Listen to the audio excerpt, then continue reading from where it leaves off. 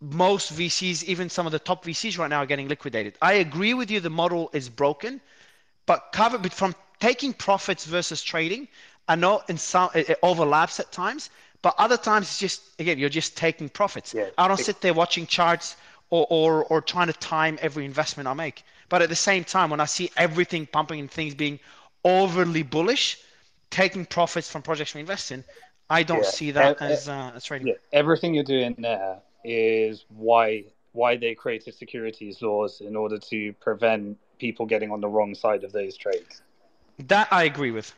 100% agree with that point.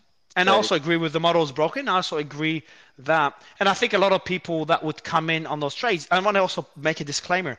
A lot of those projects pumped even further during the bull market, like Blocktopia, for example. We put in, uh, let's say we put in 50K. I can't remember what the number was, or 60 or, or 100, I think it was 100K. We put in 100K in Blocktopia. We sold when it launched at 100K. Within weeks, that 100K became worth uh, eventually um, multiple eight figures. So it's one of the top projects we invested in. So we lost a lot of uh, upside potential as well, which kind of goes, you know, supports the point that trading doesn't work. But at the same time, we covered our risk wherever possible when the markets were too hyped up. Yeah. Uh, Um, it's, Anthony it's and a Brendan, I'll let you game. It's a, it's a short-term arbitrage, but it, it's a regulatory arbitrage, definitely. Yeah, and it's I want to also in, in, again I, want- to conf- securities laws, they would when that happens, they call it a scam, and it does happen pre-IPO to IPO. Um, but those are the types of things where um, investment banks get a lot of shit when it happens. And I also want to stress, I want to kind of support the point you made. The model was severely broken, no lockup period. So eventually, lockup periods started coming up. The model was severely broken, and lockup periods are necessary because at the end of the day, it's the retail market um, that eventually gets fucked. So I want to support your point there, but also find it irresponsible if we don't sell when the market is just too frothy. Because otherwise, what's the Yeah, point? it's, a di- it's a betting dilemma from an opportunity, and and um, th- this is where when you when you're doing that, you have to become a trader. You're driven to trading. That's a good point. Because That's exactly the point. Like. Exactly, like when we don't sell, and then we see every other VC selling, and that's the dilemma you're in, unless you're sitting on, on fucking that's a the billion problem. dollars. That's the problem with liquidity on startups. Um, it, it, it you got to create the value, whereas you can trade without creating the value, which leads to scammy behavior. And then you miss out on things like Blocktop. But even Blocktop, you don't miss out because you got a distribution of 5%. You're still holding 95% of your tokens. And then when the bear market hits and liquidity dries up, there where we sell distributions, we impact the token price heavily, and we're in a bear market. So what's the point of selling? So in Yeah. that market, that's a different story. Yeah, and then you get the exchanges playing the game, and then you get the market makers playing the game, and, and this is the shit that just that ends up with regulators jumping in. Exactly. Now, what we do, just to kind of uh, point, you know, just be uh, completely open. Our strategy is very clear and open. We tell the project, hey, when we get the distribution, we're gonna sell because the market is too hyped up, and the project generally agrees, and they know that's a strategy. Which is even weirder. I'm like, it's like the project and the VCs are working together, and then I'm like, who, who, who's, who's on the other end? Now, people on the other end made money because they were flipping it as well. So it was all like just pure Well, speculation during the bull market. Yeah, someone lost. Eventually, exactly. Eventually, the last one holding the ball is the one that lost, and yeah, you just never you know. know. I, I get it, but you, your your analogy is they were probably degens uh, anyway. Um, No, look, I don't. I don't want to take it away. May- Maybe some of them bought and held, so I, um, I don't want to take it away and, and just, you know. Yeah, but they I got think- the shit price. They they they invested in an early project and got the the shit price, and now they got to shit sit there for years, hoping that this project turns around. Exactly, and then to make it even worse, the VCs investing early, even us, like to to get into that space, you had to be early in crypto. You have to have connections, a reputation, same as the NFT space. Which even though I'm part of those networks and those tribes, getting those early projects, getting that deal flow, and getting access to the projects because we help them with you know marketing and all that. So projects want to work with us. Even though I'm part of that circle, and you know we've made money being part of that circle, it's it's just it's the ugly side of crypto. It's just not right, and we see. Yeah, there's something internally, right? This is how I felt when I worked in um, in the investment bank and market making. There was something in your body internal that didn't quite feel right. Yeah. It, I mean, it was cool. You're making money, but there's something that just you could you maybe can't articulate it, but something feels a bit wrong, right? I wouldn't say it feels wrong because I never participated in pumping projects. So the people that were pumping the projects or promoting them, I think if I was doing that or we were doing that, I'd feel very wrong. But at the same time, feeling wrong in the sense that the I'm part of a broken system. Yeah. It's interesting, and and here's the key to being a great trader and a great investor: don't don't be ethical. Um, don't don't have that kind of emotional tie, and that's the but I would say, right? if you if you cross if you cross, I would I would counter this. If you cross the ethics line, the influences that crossed the ethics line in 2018 don't exist today. The influences that we're pumping projects right now, they're pumping them and selling them to their audience. There's a reason I never pump a project. Obviously, ethics is one, but it doesn't make business sense either. I'm throwing away my reputation. So I'd say being unethical if you're anonymous, but if you've got a following and no one knows you're being unethical, then you're lucky. Um, I don't even know how to be anonymous. Um, but if you're a public figure, you've got like the, the ROI on building a reputation in crypto is in, insane. You know, Richard's built a, a, massive following in the last few years, and I'm, I'm, I'm sure he's seen the return with the community he's built versus before he built that reputation. So building a reputation in crypto, there's multiples in ROI versus um, real life. Um, but at the same time, you know, destroying it is very easy because reputation is all you got. Um, Burden and Anthony, all you guys, you have, have your hand up. Go ahead, guys. Yeah, I just want to chime in kind of from the, the project owner side of things as well. Um, from my experience, some of the best conversations I've had in my life have been with VCs, and some of the worst have been with VCs. There are good characters and bad characters, right? And, and there are precautions as a project owner that you can take, like such as vesting schedules and so many more, just as any other startup business, to protect yourself and your business and your project and your community and your investors beyond the VCs you're talking to. Um, so if you're making the right choices, then you're enabling yourself for that success. And, and I think it all comes down to education again. It's really about education, and this being such a new space, there's that lack of education, and that's where that opportunity for the system to be exploited as a potentially broken system comes into play.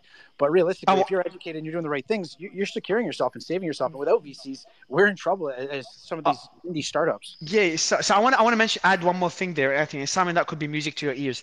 If you do the wrong thing as a VC, so if you sell when you say you're not selling, or if you dump and hurt liquidity, or if you dump during bear markets, um, so and when you do it in a way that harms the project, or you hype up a project, or you publicly support it and then you dump it, um, that again that destroys your reputation. You stop getting deal flow.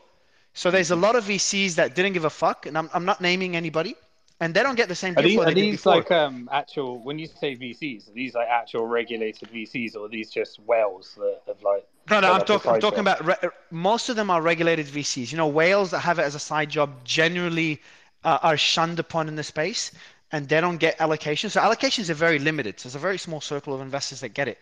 Um, and then you, you, get the likes of Animoca and Andreessen and Outlier.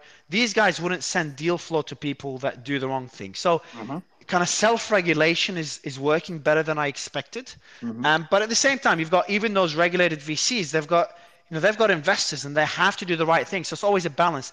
We want to maintain um, our reputation. What's the, un, what's the unwritten contract in terms of when they can sell? Um, it, it, depends what you agree on with the project. So outside the vesting schedule, there's like you know a, a, a, gentleman's agreement. Now you can easily break it, but then the project will just tell other VCs, and VCs will put you on a blacklist. So no, there's no, there's no one cares, Mario. They break it in a bear market. Everyone's breaking. The, and that's what happens. That so that, this right now. So. But yeah, exactly. I don't want to. I, what I want to say, uh, Wahid, is it's it's fascinating because the people that were on the golden list, they're like the VCs everyone respects. They're like when a bear market hits, all rules are off.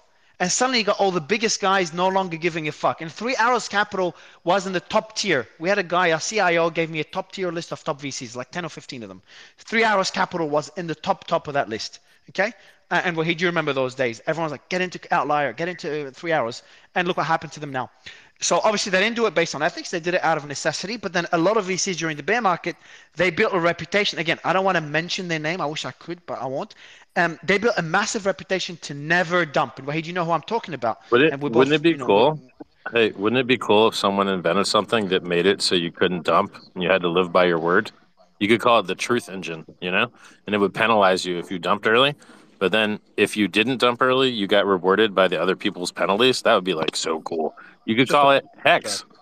We have vesting contracts for that. we, code smart contracts. We, we, we, code out smart contracts that release on particular schedules, uh, and I guess there would just be a few more lines of code to add the rewards to be redistributed to other people. Yeah, yeah. that's if you're in programmable money to change finance, program the fucking money. I'm in this to remove human counterparty risk, not to add to it. Did you? So with Hex, did you do a private round? I don't know. You didn't. You just did an airdrop to No, Bitcoin it holders, didn't you? launched. It launched totally complete and sufficiently decentralized at launch. So this is this is why this is why you didn't face that issue. So what happens with projects is that instead of airdropping it, they need the money. I don't think you needed the money. So because they needed the money, they did that private round with VCs, and they during the bull market, everyone was giving unlocking schedules. At least shitty projects, good projects, they gave very limited unlocks or no unlocks. So our best investments are locked for at least a year. Um, so when you do, But I mean, like model similar- algorithmically, even crappy can't do anything with it. Bitcoin has algorithmic locking, like check time lock verify exists, or rather check lock time verify. It's a feature, you know. Has anyone else on the panel invested privately in projects? I'm actually curious. Any other? Uh, uh, we didn't invite any VCs today, but anyone invested privately in any projects? You did, Sam. You did a lot of those, but you did it with Yeah. long, you know, equities. All our equity investments are locked. Yeah, well, Tier we- one we- projects we had an are uh, most of them are. Yeah, we, we had an interesting experience because we built, so obviously we built the first securities business in Bitcoin. Um, and then um, in 2017, we got disrupted because all of our clients um, stopped selling equity and started doing ICOs. Um, and so we had to build a process by force uh, because we had no clients left um, for how to um, sell it, uh, allow people to sell their tokens in compliance with securities laws. Um, but we got completely disrupted. Um, and yeah, I mean, I've I've invested. You know, my my best ICO was obviously Ethereum, um, and uh, yeah, did loads loads in between. But um, the the the again, yeah, it's, it's just I'm at that long term stage because I just don't. These games drive you again. Bringing it back to the topic, these games drive you to being a trader, where you have no choice but to be a trader, um, and then you're going to have to learn the skills of trading in these games, or it's just going to be you know a short term thing. But eventually, It's a very, it's a very, it's a very, Simon, it's a very short-term thing. That period, the period I'm referring to, was like a four-month period last year where 90% of projects were doing 10x or more. There was a big debate within the company, like, should we hold? Should we sell? We decided Yeah. to sell because it's a logical thing to do. But generally, that's not the case. Next bull Yeah. run, will that happen again? We don't know. NFTs, though, fuck. NFTs are insane. There's no lockups in NFTs everyone getting whitelisted was selling at, at 10 20 30 40 x's and everyone that, that buys in early the nft space was ugly so i'm waiting for regulators to come in there Um, I had, a, I had a question for Richard. Can, with your with your whole hex thing, can you uh can you hold NFTs for a prolonged amount of time, or is it just uh other things? Nope. The only thing that you can lock in Hex is Hex itself. It helps uh, Hex go up. We don't want to dilute our primary feature to help pump other things that aren't the thing we care about. You know. All right. Well, I'm put I'm putting a patent on that idea, so I'm not taking it. I think I think prior art would uh, make it not possible, but you could try. You can't patent things that are, have prior art. Like even if no one ever registered the thing, it's once it's in the public, you, you can't patent it. You say that now, but once the tables have turned, Richard, Respect, bro. Respect. anthony bolivian anything to add guys before we get into the coin fashion segment Yeah, I think I'm going to jump off now, but yeah, I think um, liquidity creates this really interesting issue. So traditionally, the markets have worked on um, that if you get in early, you have to be in it for the long term, and um, crypto really disrupted that model. And liquidity is both a gift and a real a real problem for i'll actually i'll actually i think you like this simon before you jump off wahid what's your experience you, you're an equities guy uh, you, you know you, run a hedge fund you've been in that space for a long time and then you launched a token project and seen crypto during a bull market and crypto during a bear market enlighten us Wahid, you there? Um, I'm in a little bit of a loud place. I'll try my best. Um, no, the mic is good. Sorry, yeah, but I'm in a little bit of a loud place. But anyways, um, look, um, I um, I'm I'm going to um, uh, you know I'm a long-term investor. I'm in private equity. Uh, obviously, a Web three project is is a little bit more liquid than what I'm usually used to. And uh, you and I uh, met in in, my, in our whole pre-IDO um, time, and you and others told me that if you don't get these VCs, and I'm not going to mention them, you don't get retail. You don't have a good IDO. And for me, it wasn't about a pump. It was uh, Mario. Let's be very uh, honest with one another. You were like Wahid. You're all about long-term value creation, etc. I respect that. But if you don't pump, you're going to be considered a loser for the rest of your life. And I'm like, holy shit, that's a big hurdle. And then you told me, Wahid, if you don't do a 10x, you're a real loser. And um, and and you and you and I are very close friends, Mario. But I was under a lot of pressure to make sure that I was not a loser, even though nothing about the idea was really about long-term value creation. So we we loaded up, you know, all these VCs, and uh, you know, no one really wanted to care about long-term value creation. They were all about what's your circulating uh, market cap at TGE, where's the squeeze, and you know, we went down this rabbit hole of pure zero value creation, and all the value we created in our in our fashion company, our open source fashion ecosystem for 22 years. I was like, my gosh, it's too late to cancel, and we have to go down this thing. And then even we launched on the day of the Ukrainian invasion, and everyone called me saying cancel, delay, delay, cancel. And I said, fuck it. We just spent all this money to do this. It was a complete waste of time, a complete loss of energy, frankly. So we're just going to complete it. And then lo and behold, my hunch was correct. All these great VCs turned out not to be great. They ended up, you know, absolutely dumping. We are still at IDO or slightly above IDO. And now I, I, I'm told by the VCs that's a miracle. And since we're still 2x from our seed round, you know, we reserve the right to keep selling. So you just can't win. So I, for all the speakers that said this is a shit process, I agree. I hate it. I wish I never did it, but now we have a live token, we have a great project, and we'll just live with it. And and to add to the point you've made, Wahid, is that these VCs that sold Wahid's coin, just to Yeah, end it with this. You told me they were the creme de la creme, the best of the best. Ex- they and they were. Okay. Yeah, so so the thing is, during the bull market, just you wanna unmute, man. Unmute because I can hear myself double. Yeah, so so just to echo what what, oh yeah, Wahid, can you mute? Testing, testing, good. So so to to to kind of echo and, and support what Wahid is saying, is that the the the the VCs that sold at least actually Wahid, I have a question for you. I want to end it with this. The VCs selling now, were they the ones that s- some of them sellers in the bull market or generally is actually is are any of them holding? Like is there many holding or any of them holding or not really? You gotta unmute and speak. Sorry, just because I'm in a loud place, I'm very careful. Look, um, I can I can tell you the majority are selling because even if we outperform, the fact that we outperform and someone else is down 95%, their way of running risk is to just sell the winners, and you know, um, and and and That's insane. But that's Yeah, crazy. because Like they're so because they're not. It's a bear market. They're not all these It's guys. They're not stupid, though. They're not Simon. They're not all these guys that have been there for ten years. Okay, the the whole space is a bunch of kids. Okay, and so I don't know what to tell you, but no, I think the majority are sellers. And there, there's some funds that got extra tokens because, quote unquote, they give you advice and, and they, um, you know, they're, they're there for the long-term success of the project was all bullshit. But anyone who actually signed a contract to that effect, those guys, I'm absolutely crucifying. I'm yanking just all to- their bonus tokens, of course. Yeah, because they didn't deliver on their end. But just to, to kind of conclude, uh, some of these VCs that Wahid is talking about, again, I'm not talking about shitty VCs that just came up. We're talking about people that have joint funds with Animoca.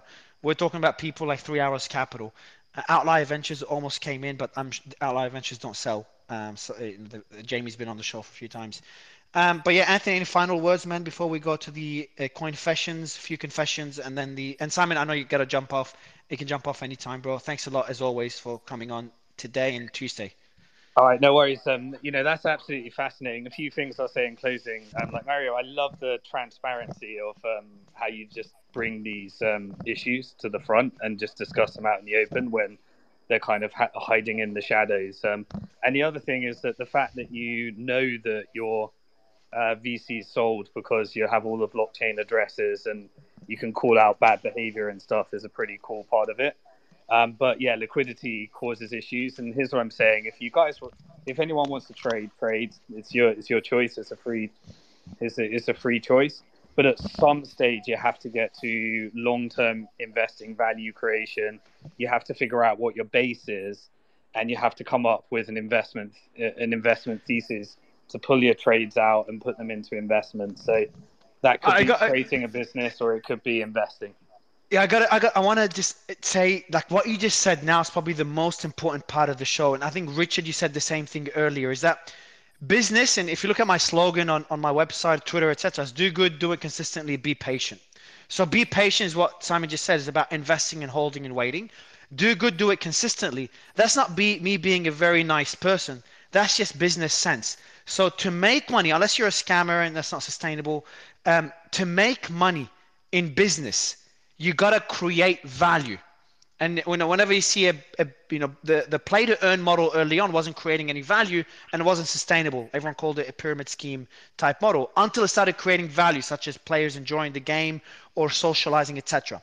So with any organization you build, any project you launch, if you don't um, create value, no one will pay you because they're not getting any value out of it. And that's not just in crypto. So that's why Richard and Simon made the point is that you got to create value.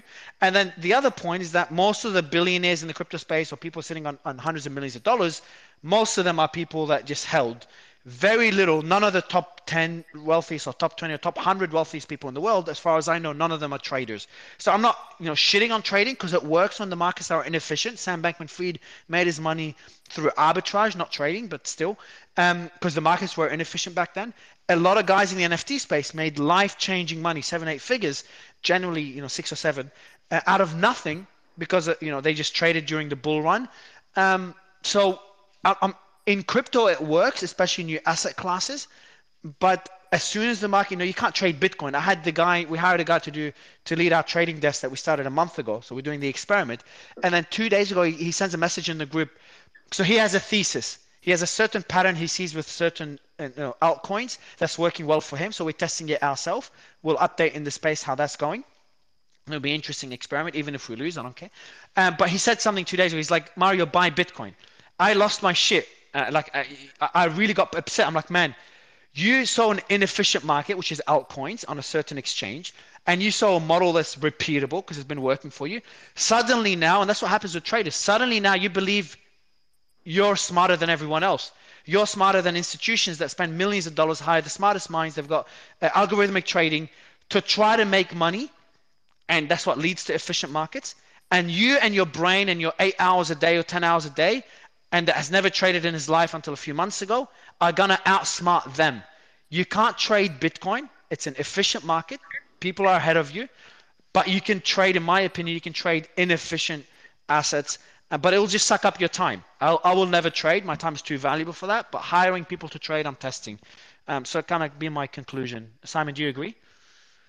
Uh, cool. Yeah. I mean, um, yeah, it's just uh, hiring people to trade. I haven't done that one, but um, yeah, it's a long-term value. I think there's some some gold dust there. Um, I'll do a final shill if I can, just before I leave. Yeah, you never Um, shill, man. Please do. Yeah, if you um, want a free video series on um, exactly how to put together the investing part, not the trading part, uh, then head over to retirementplanb.com. Uh, that was Yeah, if you can, Simon, you've been you, you've been on the show a few times, so so Romy will DM you just to get the link to it, and I'll do a tweet about it a few times, because you've been on on like 50 to 60 percent of our shows, so um, would love to tweet about it as well. And it's not a trading, it's not a trading uh, core or course or, any, or video, so I I I've never promoted any trading videos because I just think it's too risky, but investing, uh, more than happy to tweet about it. Awesome. Okay. Thanks, everybody. I'll see you. Thanks a lot, Simon. Richard, any final words before we get to the confession Yes, segment? sir. Yes. Everyone, please enjoy your free airdrop on pulsechain.com. Remember, this Ethereum merge was awesome, but it's not going to make fees lower and it's not going to give us higher throughput. It's not going to have quicker transactions. So it's going to burn less electricity. It's going to help the price go up because it's going to inflate less. But for the more supply and the world's largest free airdrop, copy of all your coins on a new chain, that's pulsechain.com. Hex.com. Is that is that what's excellent- the what's the what, what, is it a proof of stake blockchain for for? Oh no, it's an ERC token, isn't it, for Pulse? No, Pulse is a full copy of the Ethereum oh network. yes, yes, I remember. everything. Yeah, yeah, yeah. State and Yeah, everything. And it's yep. Proof of stake. Yes. And also, uh, Hex.com dipped real good. It's had a thousand days of perfect, flawless operation. Price went up a million percent. dipped 95%. Uh, it's up off of the 95% dip now, I believe. And uh, this guy's going to cross the street. No, they're going to let me go. Um, also, we got pulsex.com. It's a fork Uniswap, does fee burning and stuff, whereas like the Uniswap token has no relationship to the exchange itself. Ours really does. So, in all of these tokens, like Pulse Chain only deflates, there's no inflation. PulseX only deflates, there's no inflation. Pulse.com, or rather, Hex.com has an inflation rate of a maximum 3.69%. The average stake length is actually seven years. So, it's miraculous. Like for normal retail investors to delay gratification on average seven years, that means you got to have a lot of 15 year stakes to cancel out a lot of one year stakes. I mean, that's rather Nobel Prize worthy to get people to delay gratification that much. And between you and me, the only thing any price chart in the whole world cares about is buying and holding. And everything else is a meme and a story and a narrative as to why you should buy and hold. So Bitcoin used to be peer to peer digital cash, it gave up on it. Then it was going to be programmable money, gave up on it. Then it's digital gold. Maybe that one will last. But it went up, you know, 69,000x, 690 million percent. Richard, um, I, I, have a. I want to ask you a quick question before we, we move on yeah. to the next segment. It's one well, I'm curious just, about. Just saying, we monetize the only thing that price chart cares about, which is buying and holding. Everything else is bullshit. You hear about people like, you know, we're going to agree not to dump. You're going to do this. You're going to do that. Oh, we're going we're going to buy for the merge. We're going to buy for this that. It's all bullshit. Why not just give the inflation to the people that have the longest time horizons? And what do you think happens with, when you have something that people lock up for 15 years when they buy it? I mean, that's the most real commitment that you can possibly uh, ever make. But go ahead. Uh, yeah, Richard, question I have, and that's a selfish question.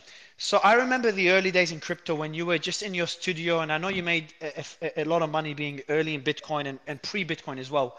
Um, and I remember you were just pretty. I think from memory, you were pretty humble, sitting in your studio.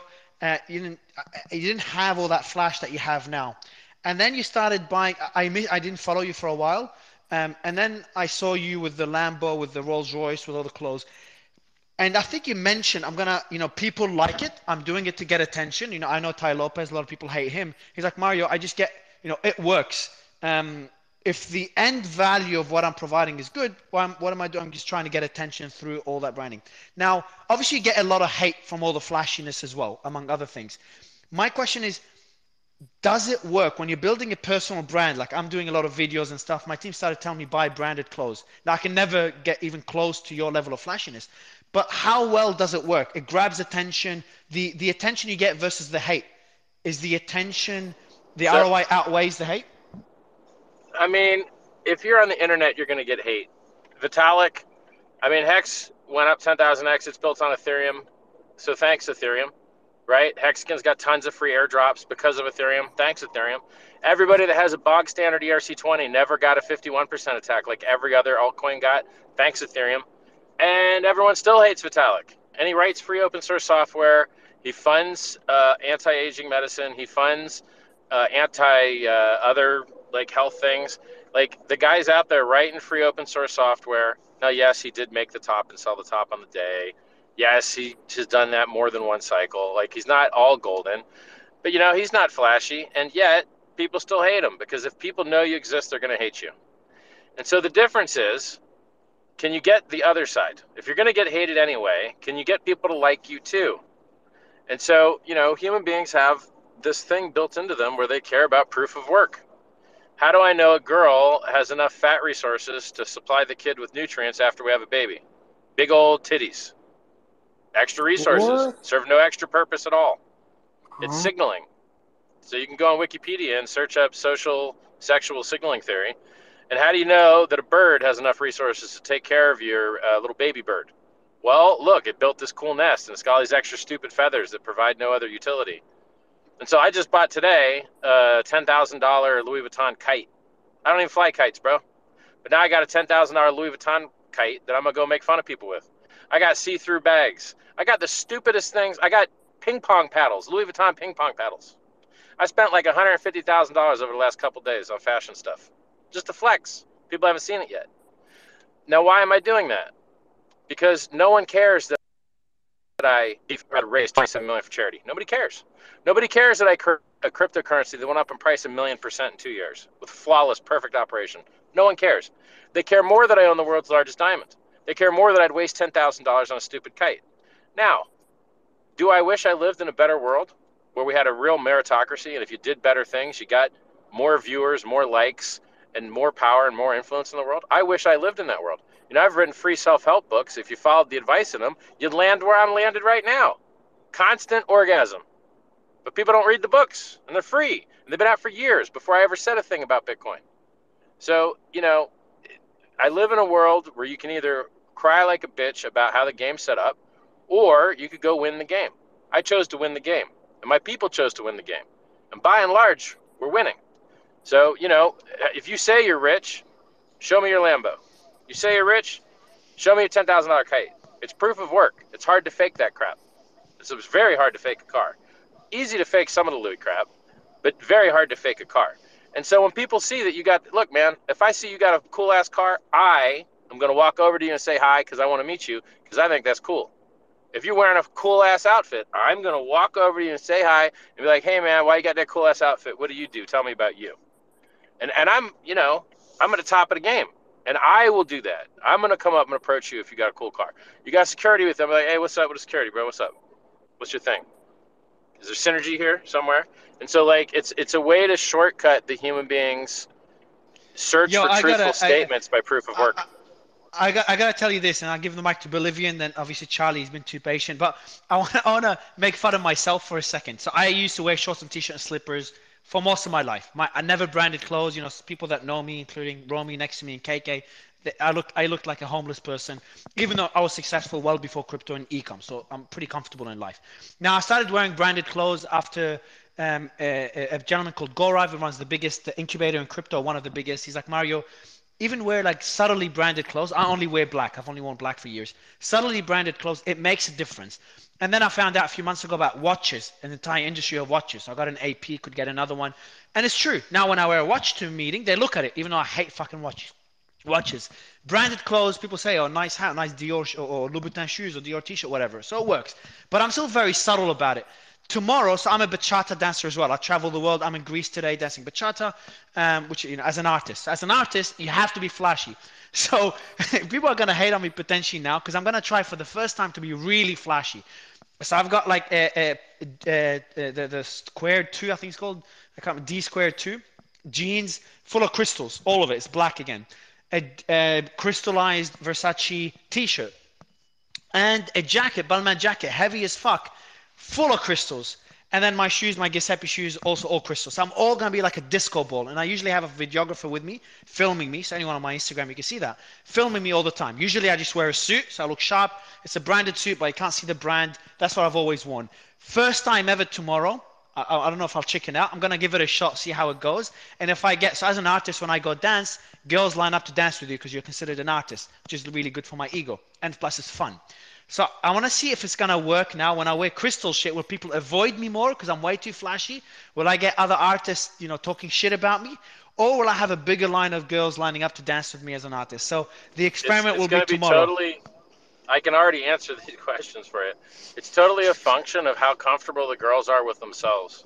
The girls that think that they're high value and are comfortable being looked at don't mind walking up to the most interesting guy in the place and meeting him. But the girls that are shy and don't have high opinions of themselves and are afraid that they'll be looked at because they're talking to the spicy guy in the room, they'll avoid you. And so it's really what kind of girl you want to attract. If you want to, you know, attract a girl that sits at home and reads books and is wearing glasses and shit and sitting on the wall, that crystal shit will turn her off. But if you're talking to the girl that's, you know, got her ass hanging out, the crystal's going to play hard. And traditionally, if you're actually being judged on your movements, it's a lot easier to see movement when we've got sequins that reflect light and when we can see the intersection of your limbs to your body, which is why ballet dancers wear tights. So the intersection of their limbs to their body is as tight as it can be, so it shows the most motion. So there's, you know, there's a, a strong tradition in the arts and in dance in particular to wear tight fitting, sparkly clothing because it helps you see the movement better. So I think it's going to work out well for you. okay, but I feel I feel like embarrassed even talking about this. Bolivian, without hating on me, man, any final words? Welcome to the show. We don't usually talk about this at all. Uh, it's usually high level conversations, but uh, I'm going to potentially make a douche out of myself tomorrow. But yeah, I'll, I'll give you the mic, bro, before I, I Charlie goes on with uh, confessions. Sorry. Yeah. Um, Um, can I have? Oh, sorry.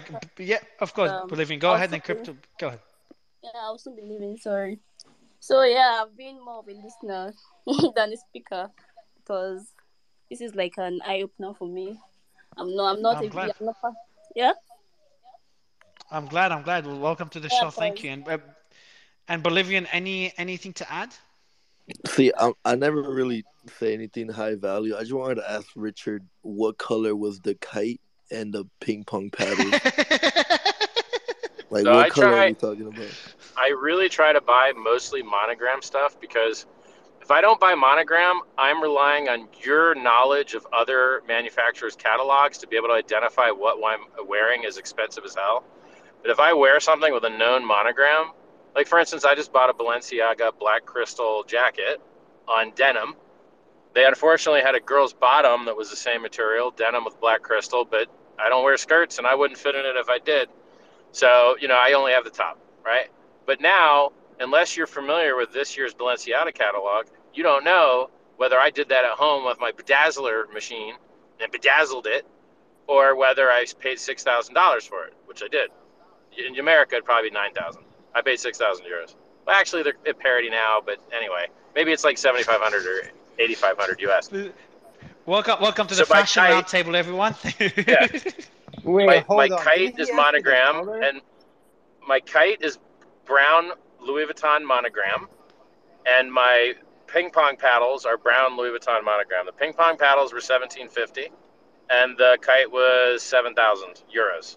That's ten thousand bucks. 7,000 Yes, for a kite. for the kite. Yeah, yes, it's ten thousand Yeah, thousand. if you Google, Go ahead. I'll let LA finish yeah, off. I- if it, if it was a good deal, I wouldn't buy it. It has to be a bad deal to serve my purpose. It has to. I have a plane bag for fifty thousand. I got glow in the dark bags for 30, 40,000 each. Like I just, I, I'm wasting money on purpose because the only utility it has is how expensive it is. It's probably not even a good kite. The kite probably sucks, but because it was expensive, now it has notoriety. You know, it's like most cars. Most cars get you from A to B, but the ones that's the most expensive is cooler. And for the record, my Bentley's way cooler than my Rolls. The Rolls I paid seven hundred thousand. The Bentley's half My- it and murdered. Yeah, I can't hate on you. My my ugly profile picture costs a few hundred thousand as well, so so it's not it's not about the the quality. But okay, confessions, Charlie, man, you've been waiting patiently. Everyone loves your confession segment, so I'm really feeling guilty for delaying it. Um, everyone, Coinfessions, make sure you follow him. One of the best pla- best accounts I've seen on the platform. Plus, you got to follow him to, to win the giveaways. We've announced 4K worth of winners Yo, on the Discord so far. Can you hear? Yeah. Can I hear what, man? KK? Anyone? Did I just cut out? Uh, No, no. I can hear you. No, you're here. I was, Okay, that was. I don't know where that came out of. Uh, Charlie, you there, bro? Yeah, yeah, I'm here. Um, thanks for having me back. Thanks for being here, man. One of the, the, the, the uh, fan favorite segments of every show. So, uh, what, what type of confessions do you have for us today, man? Well, it feels like somewhat of a non sequitur given we were just talking about kites and fashion, but I have picked some picked some trading uh, confessions with a little bit of an Ethereum theme, obviously to uh, commemorate uh, the merge. So I will get sharing. So the first one is uh, I'll just read you the uh, the summary rather than the whole thing, but it says my wife has five ETH. She has never sold or traded at all, and she has outperformed me significantly. So this, I guess, kind of goes back to um, a bit what Richard was saying and what some of the other other guys were saying, which is trading as a as a skill set um, isn't for everybody. In fact, it's probably for very few people. You always see on um, brokers and things like that when you go to sign up, it says 70, 80% of people lose money um, using our services. Um, but they rely on you feeling that okay, I'm one of I'm part of that 10%. You know, I'm part of that 1%, whatever it might be. Uh, and so this is just a very simple confession where someone essentially says you kind of two roads divide in a wood. His wife is obviously just sitting on this ETH and not even thinking about it, um, whereas he's been actively trying to grow his stack and actually having the um, the opposite effect. It's that trying to time the market rather than time time in the market. Thought that was quite fun. Then uh, just shared another one. The only profitable trades I ever made were tracking wallets via Etherscan, and that seems to have inside uh, wallets that seem to have inside knowledge of exchange listings. So I think he's dropped off now, but That's Simon, a smart one. yeah, That's a Simon. smart one. Simon was talking about. Uh, we, I mean, we were talking about VCs, um, but how you can track obviously the behavior and uh, buying and selling of certain individuals. And um, I think uh, certainly I've noticed um, over the last year or so, uh, we've seen a real development of this sort of behavior. So we're talking if we're talking about skills that traders um, have developed. Obviously, you've got your technicals, your fundamentals, and all of this sort of stuff. Um, some guys in the crypto space look at on-chain analysis. They look at hash rate, you know, all of that sort of stuff.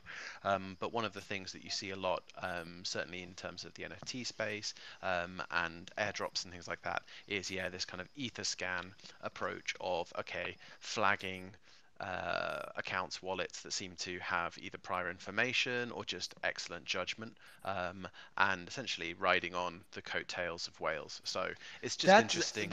It, would would you consider that insider? You can't consider that insider trading because you're just looking at public at a, at, a, at, a, at the blockchain, at public publicly available information. So that's just Yeah, I I, like mean, I. I don't know about uh, insider trading uh, laws or anything like that, but it's publicly available. But I just think it's interesting that as the technology evolves, um, you know, new opportunities for leveraging data, leveraging certain systems, um, you know, will always appear, and there will be people ready to to take advantage of them. So I thought that was quite cool. Um, this is a, a bit of a touching one. I started with two ETH in August 21 and managed to stack up to 150 during the bull run. I sold most of it at 3k, but I struggle to feel that I deserve this money at 18 years old. So this is something similar to, you know, we've, we've touched on it a couple of times over the months, um, which is people not having confidence in in themselves or in their in their own achievements uh, something I don't think Richard struggles with.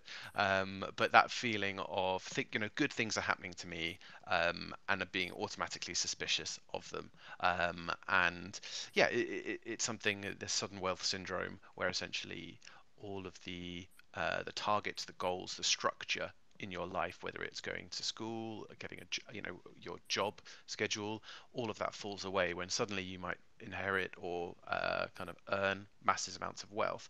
A lot of the structure that you know regulates most people's daily lives falls apart, and suddenly they're at a bit of a loose end. Um, all of their friends are still working and stuff, so you're kind of just isolated and a bit a bit on your own. So um, I thought that was that was an interesting one. It kind of make makes you think sometimes that um, you know the, the kind of the, the reward or the goal that a lot of people are aiming for doesn't doesn't necessarily uh, fulfill everybody. Obviously, some people people are built different. Um, some people enjoy it. But I want to I want to add one thing, Charlie. Anybody that has that knows someone that does that on-chain analysis and follows wallets that that that, that, that you know have a good success rate with their trades. Um, again, if you know how to do this or know someone that does, please hit me up. Uh, that's something I want to learn more about. Um, just to I mean, I can I can chime in here. Like, like Yeah, please basically, one of the one of the coolest features about Hex is that it's primarily traded on chain, and I mean really, really, really primarily traded on chain. And so you can see when people's stakes end, whether they usually restake, whether they sell the interest, whether they dump everything, what other coins they hold, whether they got made money on those coins. So if you go to hex.vision,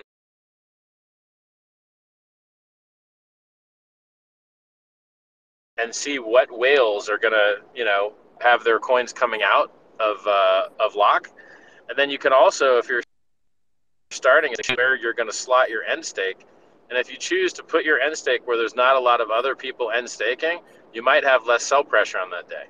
You also see things like because people are able to sell their end stakes right after the day ticks over at midnight UTC time, that's when usually you'll get sells more often than not because that's the that day's stakes. And so there's a lot of really useful on-chain timing analysis and behavior analysis that exists in Hex that really doesn't exist a lot of other places. You know, if you try and if you, you can't do this in Bitcoin, you can't tell what any, any other coins they own because there are no other coins in Bitcoin. And it's very hard to do this with other coins that are traded primarily on exchange because you have iceberg orders, dark pools, and all this fake shill spoofing garbage. You know, there's a lot of noise, but when it's when everything's on Uniswap and on chain, there's the minimum amount of noise. It's it's clean, honest, wholesome, most transparent uh, trading in the world. I don't know of any anything in the world that's traded more transparently.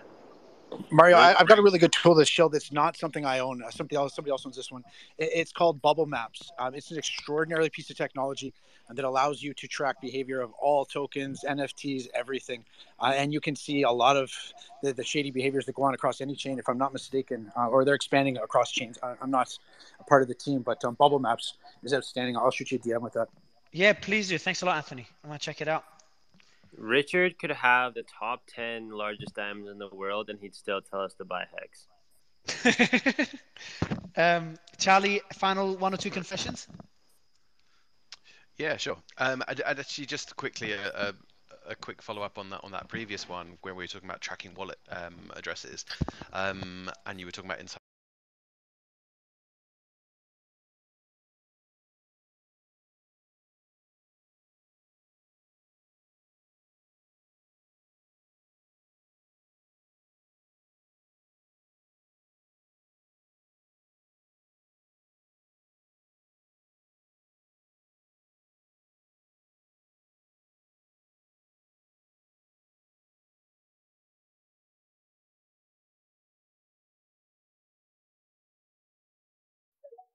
tens of thousands or hundreds of thousands of dollars worth of coins that so happened to be listed the next day on Coinbase and so therefore pumped massively. Uh, so he just sent a tweet about it, and then law enforcement contacted him, and basically he's been kind of dragged into this into this whole thing. But uh, just because, yeah, hold on, just because he tweeted the wallet. Yeah, he basically just said, "Hey, I found this wallet. Isn't this interesting that they bought all this stuff?" And then the next day, uh, it it um, kind of emerged that uh, they, they, were being listed. And no, he's not in trouble. He's basically been called he, like he's referenced oh. in the in the lawsuit. Like basically, he oh, okay. brought it he brought it to light. Coinbase contacted him. He gave them information. Law and basically law enforcement got involved. And I, I, I, I there's something going on about insider trading and all that sort of stuff. I, I yeah, and I know the story. We, we covered it once. There was uh, the, the the first insider trading case. I think it's the first case in crypto uh, for insider trading was an ex uh, Coinbase. I think it was an executive or someone there. Um, and I think it's linked of, to this. Are you thinking of the OpenSea guy, the guy that was basically? Oh shit, shit, shit! Yeah, yeah. It's, it's, sorry, sorry. Yeah, I take it back. Yeah, yeah but no, there's also a story about Coinbase doing something. That wasn't the first one, but Coinbase is uh, taking some action. I think they, they yeah, they, they they are. They've given um, evidence to authorities for someone they let go about insider trading. Again, we've covered that story. I'm, I'm sure yeah anyway there's insider trading obviously in every sector it's not crypto specific but um, i just thought it was interesting that you know that technology we were talking about in terms of wallet tracking and all that sort of stuff um, can i guess help uh, in that in that sense. Um, so one last one uh, because i know i know you like the uh, the darker stuff. Um, I've just shared it. So my dad, this is not um, Ethereum related, but my dad gave me 30k because I convinced him NFTs were the future, and he wanted me to trade some for him. I gave him fair warning that nothing is promised. I YOLOed into a drop and turned it into 75k within an hour. I told him things didn't work out and gave him 10k back, and he was fine with it. so yeah, so basically he just ripped his dad off and told him that he lost some money, but actually he made a load. How much That's did he make? Ridiculous. So he, he, his dad gave him 30 grand. He turned it into 75 and he paid his dad back 10 saying it didn't go well. So he profited Jesus. 65. I'm not good at maths. I'll, I'll take your word for that. That's that fucked up. Ridiculous. I personally would never take that in a million years. No, and obviously uh, most people wouldn't. Like, what's what's what price do you set your dignity and your relationship with your father? Uh, surely higher than sixty, maybe maybe seventy. That's insane, man. Um, Charlie, um, I was expecting a much darker one. This is just someone just being fucking dirty. Um, so, but I, am glad. Uh, I, doing- I, I don't want a mean, darker. D- yeah, don't I'm- do darkers. Don't, don't do. it. I want. I want. I, maybe darker ones are not the best for the audience. I'll, I'll get a vote, an audience to vote. Uh, but we do have um, the, the the pitch of the day by Viral Coin, which is the only pitch we have today.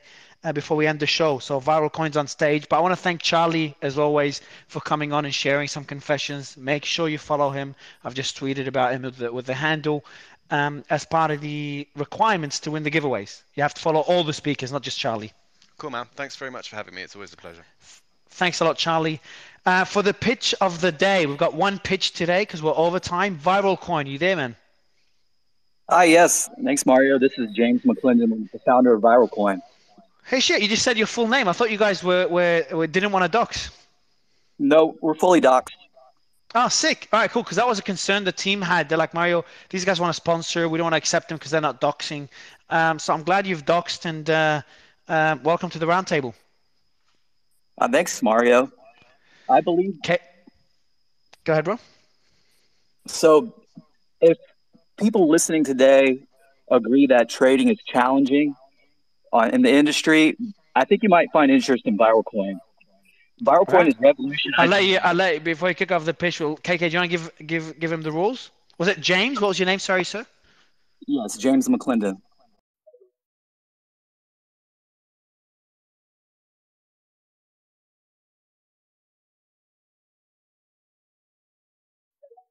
Nice. Uh, so minute and a half pitch time. I'm starting the timer right now. Mike is all yours. Go. Wait, wait, before you start, James, is it possible to go to a place with better audio? It might just be for me,